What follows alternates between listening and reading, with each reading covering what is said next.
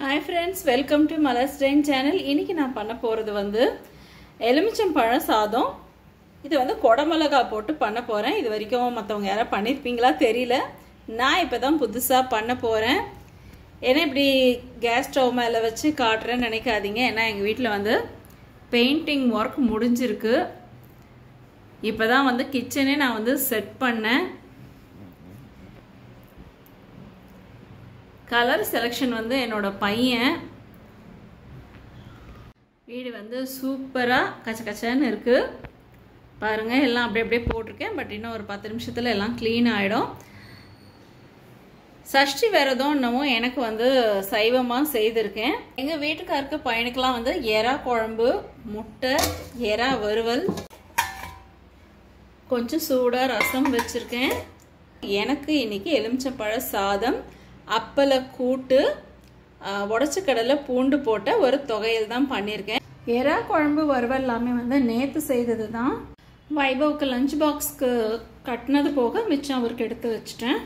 Painting work பண்ணாலே வீடு வந்து இப்படி இருக்கும். பின்கட்டில் இருக்கக்கூடிய துணியெல்லாம் இங்கே வந்துடுச்சு. ஃப்ரிட்ஜு வந்து ரொம்ப குளிருதுன்னு அதுக்கு பெட்ஷீட்லாம் வந்து பெயிண்டர் அண்ணா போற்றி வச்சுருக்காரு. வாஷிங் மிஷினுக்கும் பெட்ஷீட் போட்டு கவர் பண்ணியிருக்கு பாருங்கள் எவ்வளோ மோசமாக இருக்குது வந்து இன்னும் இந்த இடத்த வந்து செட் பண்ணணும். அப்புறம் ஒரு வீடியோ போடுறேன். இந்த அலமாரி செட் ஆயிடுச்சு. இந்த கப்ஸ் எல்லாம் வந்து இப்போ தான் கழுவி வச்சுருக்கோம். பாத்திரம் வைக்கிற அலமாரியும் செட் பண்ணியாச்சு. இது வந்து மளிகை சாமான் வைக்கிற அலமாரி. ஸோ இது ஓரளவுக்கு தான் செட் பண்ணியிருக்கேன். இன்னும் பாட்டில்லாம் வந்து கரெக்டாக வைக்கல. சும்மா தற்சமயத்துக்கு எடுத்து வச்சுருக்கோம்.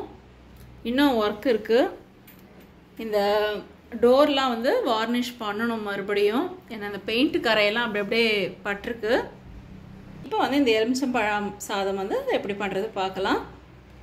அடுப்பில் பேன் வச்சாச்சு. ஹாஃப் கப்பு அரிசி தான் எடுத்திருக்கேன். அதனால் ஒரு சின்ன குழிக்கரண்டி அளவுக்கு எண்ணெய் விட்டுக்கலாம். தாளிக்கிறதுக்கு வந்து கடுகு ஒரு ஸ்பூன் அளவுக்கு உளுந்து ஒரு ஸ்பூன் அளவுக்கு கடலைப்பருப்பு மூணு வரமிளகா கருவேப்பிலை தேவை அளவு தேவையான அளவுக்கு முந்திரி பருப்பு எடுத்திருக்கேன். இதோட வந்து வேர்க்கடலை கூட சேர்க்கலாம். வேர்க்கடலை எனக்கு வந்து ஒத்துக்காதுன்றதால நான் அது முந்திரி பருப்பு மட்டும் சேர்த்துக்கிறேன். எண்ணெய் ஹீட் ஆகிடுச்சு இதை அப்படியே சேர்த்துக்கலாம். ஸ்லோ ஃப்ளேம்லேயே இருக்கட்டும்.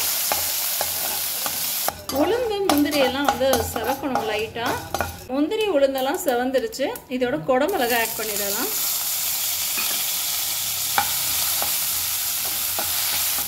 குடமிளகா வந்து லேசாக வதங்கினாலே போகிறோம் ரொம்ப வேகணும்னு அவசியம் கிடையாது.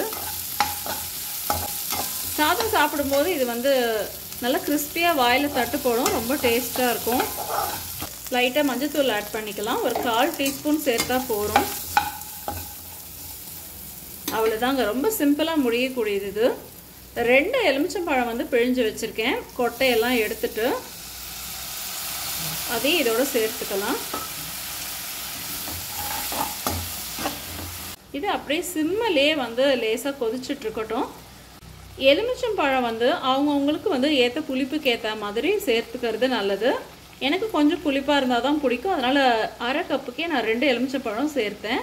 ஆக்சுவலாக ஒரு அழகுக்கு ரெண்டு எலுமிச்சம்பழம்னு கணக்கு. நான் கொஞ்சம் எக்ஸ்ட்ராவே சேர்த்துருக்கேன். உங்களுக்கு புளிப்புக்கு ஏற்ற மாதிரி கூடவோ குறைச்சலாவோ சேர்த்துக்கோங்க.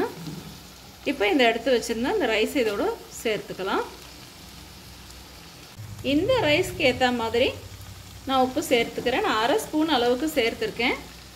நீங்கள் உங்களுக்கு தேவையான அளவுக்கு சேர்த்துக்கோங்க. கிளறி கொடுத்துக்கலாம். நல்லா கலந்து விட்டுட்டேன். ரைஸ் நல்லா உதிரி உதிரியாக இருக்கிறதால நல்லா கலந்துருச்சு. டேஸ்ட் பண்ணி பார்த்தங்க செம சூப்பராக இருக்குது இப்போ அப்பள கூட்டை எப்படி பண்ணுறதுன்னு பார்த்துக்கலாம் ஒரு கப் அளவுக்கு வந்து கடலை பருப்பு எடுத்திருக்கேன். இது எப்படி வந்து ஒரு கால் அழகாக இருக்கும். இப்போ இதை வாஷ் பண்ணிக்கிறேன். ரெண்டு பல்லு பெரிய பூண்டு போடுறேன். சின்ன பூண்டாக இருந்தால் ஒரு ஆறு வரைக்கும் போட்டுக்கலாம். இது வந்து நல்லா பெருசு. அதனால் ரெண்டே ரெண்டு தான் போடுறேன். மஞ்சத்தூள் கால் டீஸ்பூன் சீரகம் பாதி தக்காளி ஒரு சின்ன சைஸ் வெங்காயம் கால் டீஸ்பூன் அளவுக்கு மிளகாத்தூள் சேர்க்கிறேன். ஒரு டம்ளர் அளவுக்கு தண்ணி விட்டு வேக விட்டுறலாம். கடலை பருப்பு வந்து வேகிறதுக்கு கொஞ்சம் டைம் எடுக்கும். தோரம் பருப்பை விடவே ஒரு ரெண்டு விசில் எக்ஸ்ட்ரா வைக்கணும். ஒரு அஞ்சு விசில் வச்சிங்கன்னா நல்லா வெந்துடும் நான் இன்னுமே கால் டம்ளர் அளவுக்கு தண்ணி சேர்த்துக்கிறேன். குக்கர் க்ளோஸ் பண்ணி விசில் போட்டாச்சு. ஒரு அஞ்சு விசில் வந்த பிறகு திறக்கலாம். பருப்பு வேகிற நேரத்துக்கு நம்ம உடச்ச கடலை தொகையில் அரைச்சிக்கலாம். இது வந்து ரொம்ப ரொம்ப ஈஸி செய்யறது. பட் டேஸ்ட் வந்து எக்ஸ்ட்ராடினரியாக இருக்கும். அதுவும் கார குழம்புக்கெல்லாம் தொட்டுட்டு சாப்பிட்டா ரொம்ப நல்லாயிருக்கும் ஒரு கப் அளவுக்கு நான் இதை சேர்த்துக்கிறேன். பெருசாக ஒரு பல் பூண்டும் சின்னதாக ரெண்டு பல் பூண்டும் எடுத்திருக்கேன். இதையும் இதோட சேர்த்துக்கலாம். உப்பு கொஞ்சமாக சேர்க்கிறேன். மிக்சி வந்து ட்ரையாக இருந்ததால் நல்லா பவுடராக வந்து அரைப்பட்டு போச்சு. இதை இதுக்கு மேலே அரைக்க வேணாம். தேவையான அளவுக்கு தண்ணி கலந்து திக்காக பிசைஞ்சிட்டா போகிறோம் ரொம்ப மசிய வேணாம். நர நிறையா இருந்தாலே போகிறோம் இந்த மாதிரி கலந்து விட்டுக்கலாம். நல்லா இப்படி கலந்தாச்சு. இதை ஒரு வேற ஒரு பாத்திரத்துக்கு மாற்றிடுறேன் இந்த துவையலுக்கு காரத்துக்கு பச்சை மிளகா காஞ்ச மிளகா அந்த மாதிரிலாம் எதுவுமே போட வேண்டாம். இதோட டேஸ்ட்டே வந்து பூண்டு உப்பு பொட்டுக்கடலை மட்டும் இருந்தாலே போகிறோம் பச்சை மிளகாலாம் சேர்த்தா சட்னி மாதிரி ஆகிடும் அவ்வளோதான் கடலைப்பருப்பு நல்லா வெந்துடுச்சு. பாருங்க தண்ணி எல்லாம் கரெக்டாக இருக்குது இந்த அளவுக்கு இருந்தாலே போகிறோம் கொஞ்ச நேரத்துக்குலாம் தண்ணி வந்து கடலைப்பருப்பில் மட்டும் நல்ல தண்ணி இழுத்துடும் திக்காயிடும் இந்த கூட்டுக்கு தேவையான அளவுக்கு அரை ஸ்பூன் அளவுக்கு உப்பு சேர்த்துக்கிறேன். மூணு அப்பளம் பொறிச்சு வச்சுருக்கேன். அதையும் இதோட சேர்த்துக்கலாம்.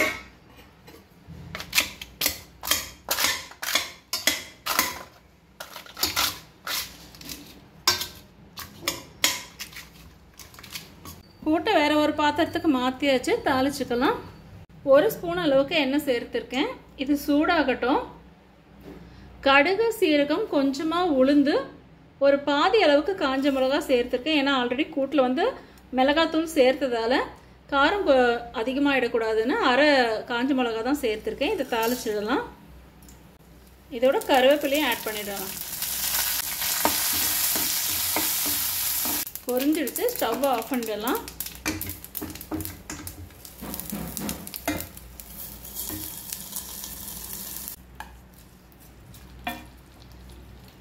சூப்பரான அப்பளை கூட்டு ரெடி ஆயிடுச்சு. குடமிளகா சேர்த்த எலுமிச்சப்பழம் சாதமும் அப்பளை கூட்டு உடச்ச கடலை தொகையல்னு எங்கள் வீட்டு லஞ்ச் சூப்பராக ரெடி ஆயிடுச்சு.